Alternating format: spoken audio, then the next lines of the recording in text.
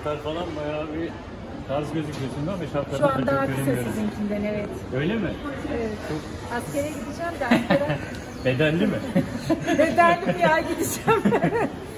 Görebilme şansınız nedir?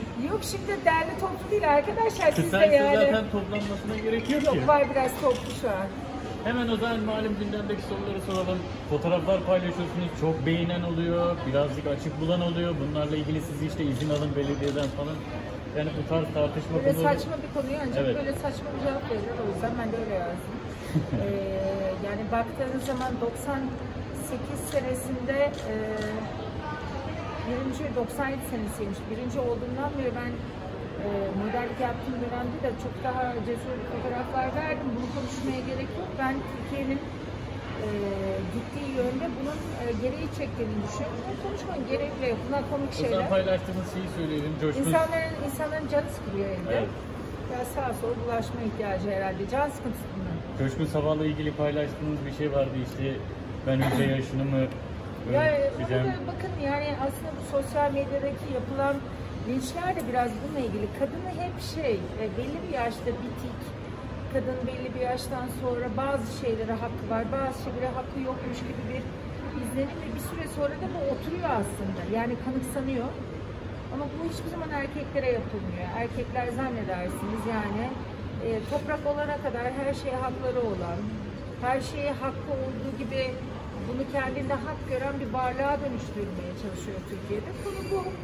E, eğer kadınlar bu kadar eleştiriliyorsa bunu bu konuyla ilgili size onlarca örnek verebilirim. Pınar Altuğ'dan tutun da bir sürü insana bu yapılıyor. Nüket duruyor. Değil mi? Evet. O yüzden erkekler de birazcık bundan nemalansın diye espri amaçlı yaptığım bir şeydi. Bir sürü insan da mesaj yazdı. Yani biraz erkekler de e, bundan nasibini alsın diye. Yaklaşık bir yarım saat önce Coşkun Bey'le röportaj yaptık. Dedi ki bakın dedi göbeğim yok. Deniz Hanım'a önce bir sorun dedi. önce bir sorun dedi. Ee, üretici olsun dedi. Böyle dedi laf söylemesin. Ben de saçımı boyatıyorum ama dedi o kaç kere saçını boyatıyor. Ne farkı Ben çok var erkek? boyatıyorum saçımı ama şimdi bakın bir kere böyle espriyle cevap verdiği zaman başımın üstüne. e, ben de saçım, ben bu arada saçım bayağıdır boyatıyorum. Evet. Çünkü ben ırsi olarak babam saçları bembeyaz. Sadece orada başka bir şey var. Yani kadınlar mesela bu cümleleri kurduğu zaman yani Coşkun Bey'den çıkarak söylüyorum. Kadınlar kurduğu zaman hani kim o kim ki kendinden 30 yaş küçük erkekle birlikte olabiliyor. Biraz biraz daha toplumu ilgilendiren bir konu. Doğru orada bir birey olarak kullandım ama dediğim gibi şahane cevap vermiş. Diyeyim yani Ben de aynen sordum. O da şöyle bir cevap verdi. Röportaj yaptığım için direkt onun söylediğinin aktarı. Yani dedi ki ben orada yaşa çok takılmışlar dedi. Ben biraz genç gösterdiğim için yanımda da genç duran bir bayan isterim tarzında bir açıklama Ya soktu. bu arada Yaşlı buna hakkı var. Herkesin hakkı var ama erkeklere verilen bu hak kadınlara verilmiyor Türkiye'de. Onu söylemek istedim.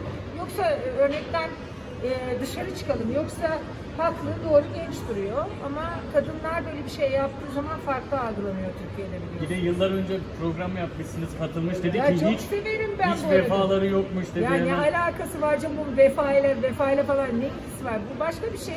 Coşkun Bey'in özelinden çıkıp genelle ilgili bir soru. Yoksa kişisel algılamayalım.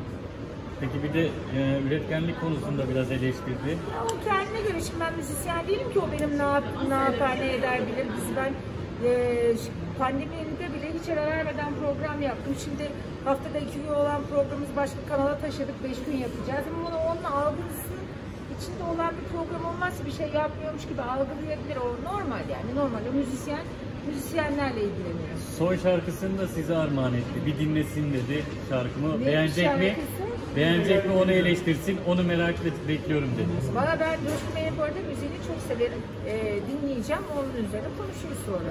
Peki. Tamam mı? Teşekkür Sonuna kadar.